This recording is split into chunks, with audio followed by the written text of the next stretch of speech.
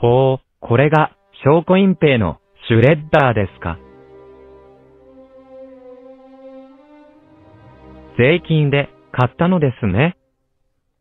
国民は、証拠隠蔽ではなくて、もっと国と国民にとって意味のある使い方を求めているのではありませんか